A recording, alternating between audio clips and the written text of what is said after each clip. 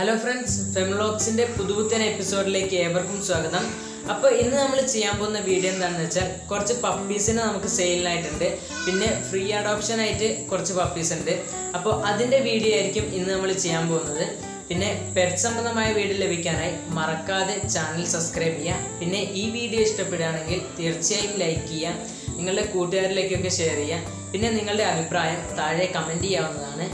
പിന്നെ നിങ്ങളുടെ പെറ്റ്സിനെ YouTube post ചെയ്യാൻ താല്പര്യമുണ്ടെങ്കിൽ അവർ സ്ക്രീനിലായിട്ട് കൊടുത്ത നമ്പറിലൊന്ന് കോൺടാക്റ്റ് ചെയ്യാം.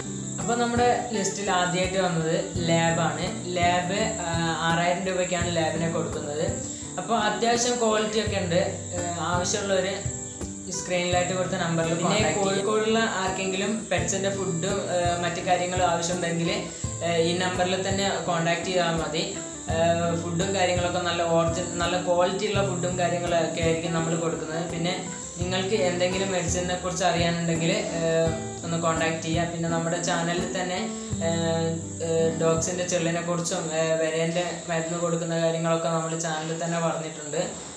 അപ്പോൾ ചാനലിൽ ഇല്ലാത്ത വീഡിയോസ് ആണെങ്കിൽ നിങ്ങളൊന്ന് കോൺടാക്ട് ചെയ്യുക. അല്ലെങ്കിൽ വീഡിയോയിലൊന്ന് കമന്റ് ചെയ്താൽ മതി.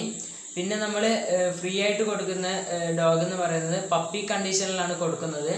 അപ്പോൾ നിങ്ങൾ ഈ ഡോഗിനെ കൊണ്ടുപോവുകയാണെങ്കിൽ അത് പ്രസവിച്ചതിന് ശേഷം ഒരു കുട്ടീനെ ഇതിന്റെ ഉടമയ്ക്ക് കൊടുക്കേണ്ടതാണ്.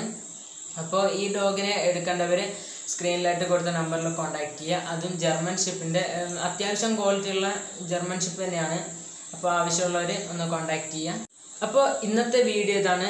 വീഡിയോ ഇഷ്ടപ്പെട്ടാൽ തീർച്ചയായും ലൈക്ക് ചെയ്യുക നിങ്ങളുടെ കൂട്ടുകാരിലേക്കൊക്കെ ഷെയർ ചെയ്യുക പിന്നെ ഇതുപോലെ പെറ്റ് സംബന്ധമായ വീഡിയോ ലഭിക്കാനായി മറക്കാതെ ചാനൽ സബ്സ്ക്രൈബ് ചെയ്യുക എന്നാൽ അടുത്ത വീഡിയോയിൽ കാണാം. അതുവരെ ഗുഡ് ബൈ